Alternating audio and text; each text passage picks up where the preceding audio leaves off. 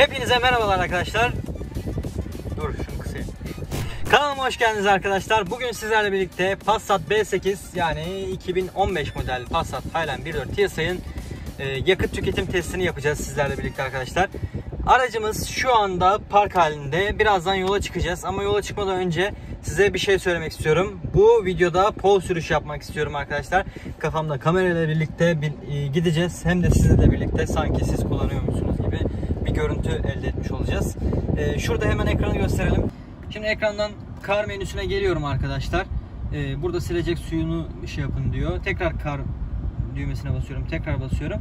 Evet burada başlangıçtan itibaren verilerini gösteriyor bize. Şu anda başlangıçtan itibaren 15 kilometre yol yapmışız ve 100 kilometre bölü 10 litre bir yakıt yakmışız. 10.3 litre.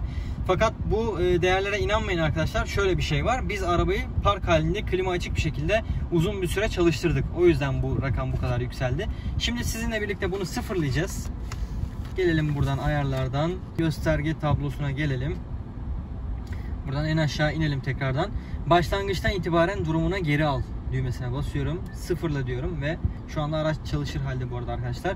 Ee, ekranımız geldi. Her şey sıfırlandı. 110 kilometrede menzil veriyor içerisindeki benzin. Ee, yolda benzin e, alımı yaparız ya da videodan sonra yaparız. Ee, yolda boyunca bölmeyelim, dur kalk yapmış olmayalım gereksiz yere. Ee, şimdi şehir içi trafiğinde ne yaktığına bakacağız arkadaşlar. Araç şu anda çalışıyor. O yüzden çok fazla aracı çalışır halde klimalar açıkken tutmayalım. Bu arada bu testimizi klimalar açıkken yapacağız arkadaşlar. Bu araç manuel vites olduğu için e, manuel viteslerde DSG'ye oranla biraz daha yakıt tasarrufu yapabiliyoruz. Neyse araç şu anda çalışıyor. Çok fazla çalışır halde bekletmeyelim çünkü klimalar açık. Şu anda e, yakıyor zaten arkadaşlar. Emniyet kemerimizi takalım. Şöyle. Birazdan da kafa kamerasını takacağım. Pol sürüşü yapacağız arkadaşlar sizinle birlikte. Vitesimizi 1'e aldım. Ekranımda tüketim verileri gözüküyor. E, biraz tasarruf yapmaya çalışacağım. Şehir içerisinde az yaktırmaya çalışacağım arkadaşlar. Normalde bu araç şehir içerisinde az yakacak bir araç değil. Ama otoban kullanımında yine 5-6 litreleri görebiliyorsunuz. Bakalım şehir içi kaç litreleri göreceğiz. Şu anda ekranda bir veri gözükmüyor. Şu an ekran 0-0. Ama tabii anlık tüketimi görmek isterseniz hemen bir kafa kameramızı takalım şurada. Evet arkadaşlar nasıl yakıştı mı? Güzel durdu mu? Saçlar da çok bir oradan çıktı bir buradan çıktı. Bayağı bir dağıldı. Evet yine çok durduk. Yani olması gerekenden fazla durduk. Durduğu yerde de klima açık olduğu için yakıyor arkadaşlar araç. Şu anda size ekrandaki verileri göstereyim. Bayır çıkıyoruz. Bayır çıktığımız için de İçiyor. yakıt tüketimi şu an 25 litrelerde falan ama birinci vitesteyiz ikinci vitese çektiğim zaman yine 22-26'ları gösteriyor anlık tüketimde ama e, tabii ki bunlar dikkat edilmemesi gereken 32 falan gördüm önce değerler. Bu arada arkadaşlar yanımda bir de kim var? Enes var. Seya. Enes nasılsın? İyiyiz efendim siz nasılsınız? İyiyiz biz de. Sence bu aracın yakıt tüketimi nasıl? Güzel, makul. 30 litre diyor şu an. Makul mü? Şu anda 30 litre diyor ama yokuş çıktığımız için ve de orada beklediğimiz için çok yüksek. Bak görüyorsun düşmeye başladı. 28 8'lere falan düştü. Bu ne? Yol vermezler ki abi. Yavaş arkadaşım. Evet burada biraz litre, fazla bastık. 28 litre iyi kanka. Abi şu anda bu iyi mi? Sence iyi mi yani mesela? Sen e, bu araba senin olmuş olsa 28 litre yaksın benim için problem değil der misin? 28 litre ne bu? İyi ya pas atarım. Değil mi? Yok be ya düşecek o şimdi de. Arkadaşlar birazdan Şimdi düşecek şu an 25'lerde Hani 10 litre iyi bu araba bence. Oo, Alırım. Kasis varmış. Buradan bayır aşağı gaza basmadan e, indirelim ikinci viteste. Şu anda tüketim 0-0 bakın düşmeye başlayacak. 23, 22, 21. Bir şey diyeyim mi? Evet. İyi bence. Düşüyor yani hızlı düşüyor. Diğer arabalarda bir tık daha yavaş düşüyor. Düşüyor düşüyor. Çok fazla bekletmeden düşmeye başlıyor. Çünkü zaten daha yeni çalıştırdık. Yeni başlattık Aynen. tüketimi de. Bakalım vardığımızda ne oluyor? Bu arada arkadaşlar Suryapı AVM'ye gidiyoruz. Evet. Ee, Enes'imin birkaç işi var orada. Birkaç alması gereken bir şeyler var. Onları alacağız, halledeceğiz. Aynen. Bakalım biraz para harcayalım. Biraz kaşıntı yaptı galiba paralar. Şu an bakın anlık tüketimde 4 4. vitese geçtik bu arada. 5 5 6 hani 4 5 7 o civarda geziyor.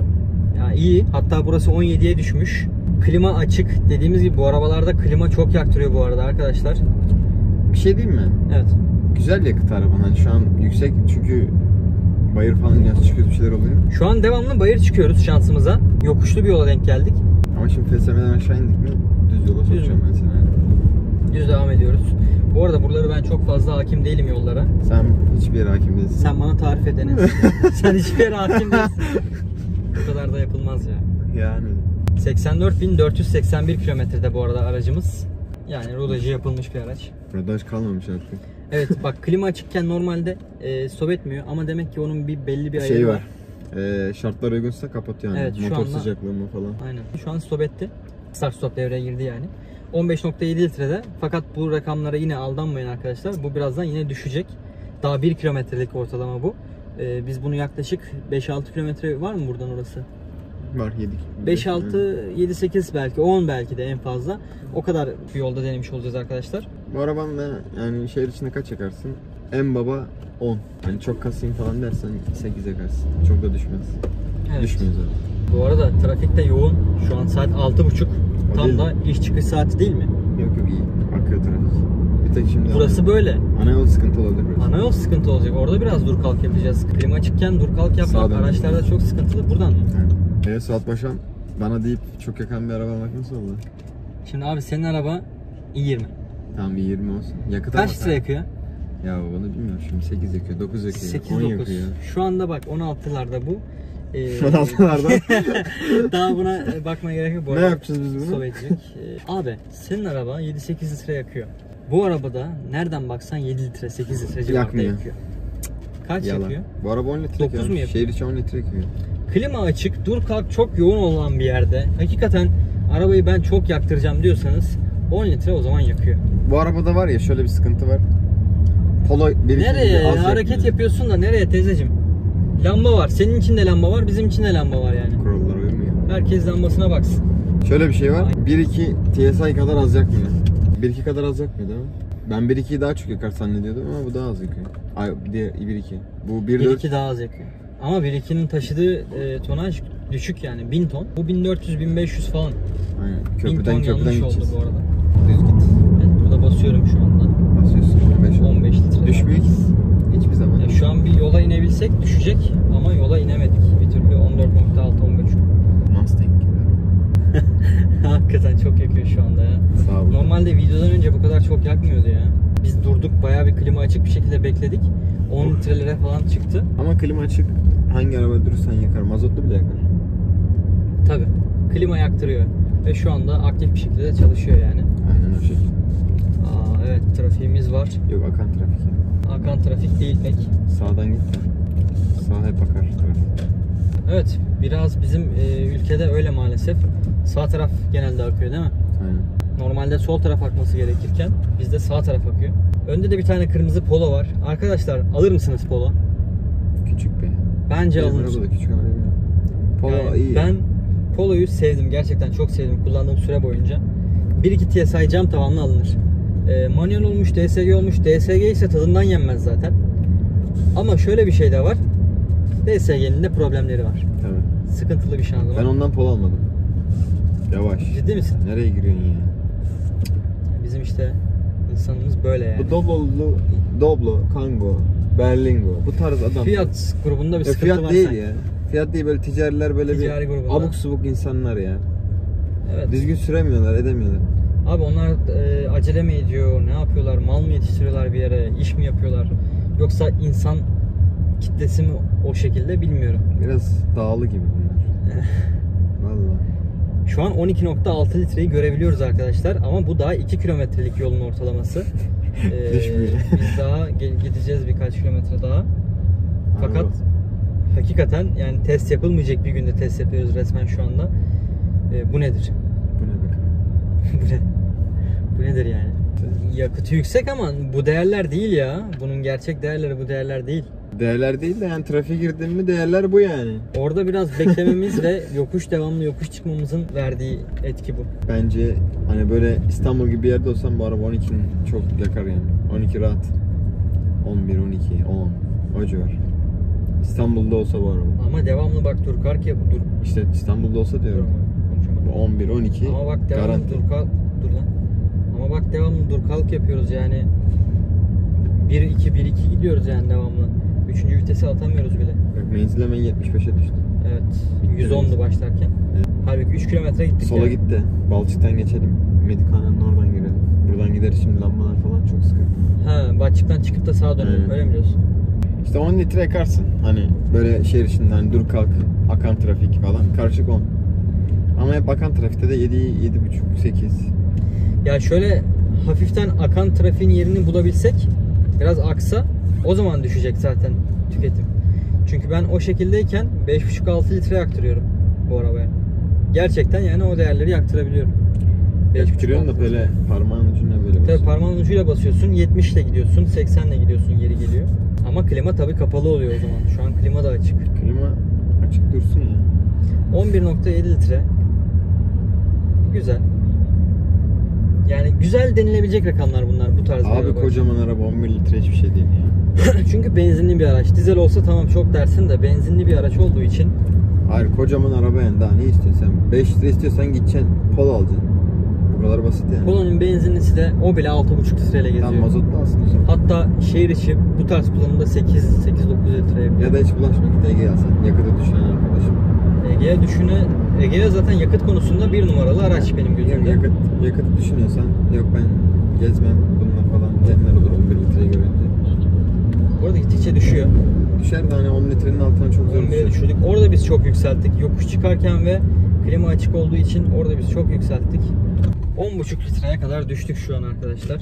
Şöyle şehir içi kullanımını bir e, test edelim. Şehir içinde klima açık, yoğun trafik, tam böyle trafik saatinde yokuşlu, klimalı ne yakacak zorladığımızda diye baktığımızda bu araç bunu yakıyor arkadaşlar. Gördüğünüz gibi 4 kilometrenin ortalamasını veriyor şu anda bize sadece. arabam 10.5 litre. Ee, bu uzun olsa, bu yol biraz daha uzamış olsa o zaman belki e, göreceğimiz rakamlar 8 litre, 7 litre Aynen oralara kadar düşer. Ama şu anda hep dur kalklı ve e, 2 ile 3 ile yeri geliyor. En fazla 3 3'e çıkabiliyoruz vites olarak. Böyle gittiğimiz için yakıt burada.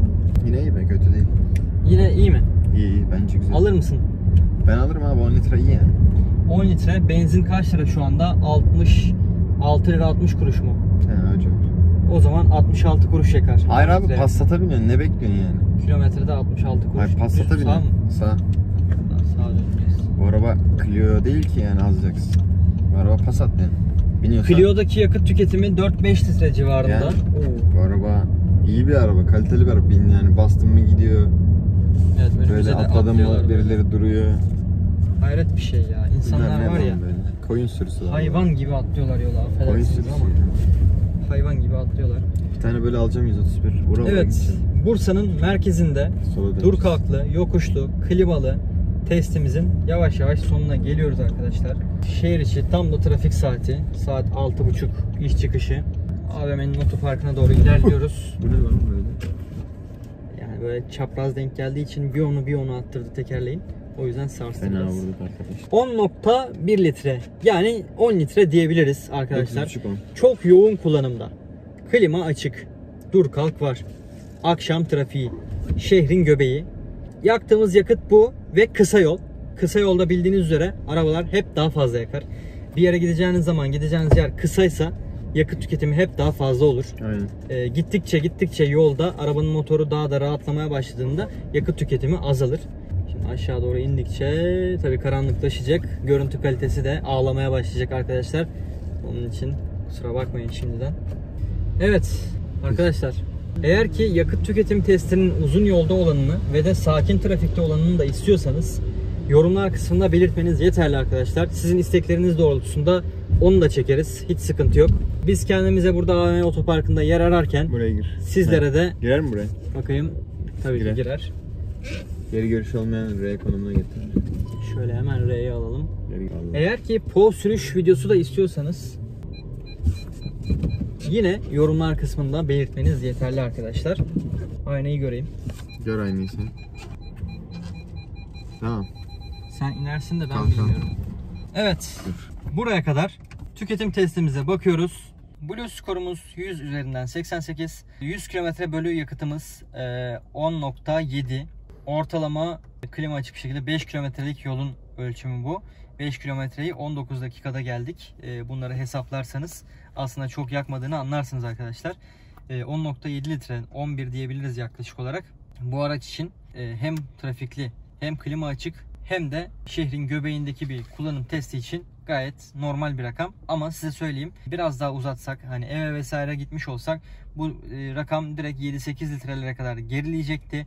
Ama bu kadar kısa bir mesafede test ettiğimiz için 10 litreleri görüyoruz şu anda. İsterseniz e, o tüketim testini de yapabiliriz birlikte sizinle arkadaşlar. Aracımızda stopumuzu ettik arkadaşlar. Dediğim gibi isterseniz siz de yorumlar kısmında bana sormak istediklerinizi sorabilirsiniz. Yine ben sorularınızı cevaplamaya çalışacağım arkadaşlar. Yanıtlamaya çalışacağım. Beni takip etmek istiyorsanız Instagram'dan da Suat Basam kullanıcı adıyla Instagram'da varım. Orada daha aktif bir şekilde paylaşım yapıyorum. Ee, oradan da takip etmek isterseniz edebilirsiniz arkadaşlar. Bu arada Enes'in de Instagram adresi Enes Altre altı parmak oldu. Onu da takip etmek isterseniz benim takip etmiş olduğum kullanıcılara bakarak hemen oraya bir Enes yazdığınızda zaten çıkacaktır kendisi. Kendinize çok iyi bakın. Daha sonraki Önümüzdeki videolarda görüşmek üzere. Bu videoyu beğenmeyi ve abone olmayı unutmayın eğer abone değilseniz. Yorumlar kısmında da yorumlarınızı mutlaka bekliyorum. Kendinize çok iyi bakın. Hoşçakalın. Görüşürüz arkadaşlar.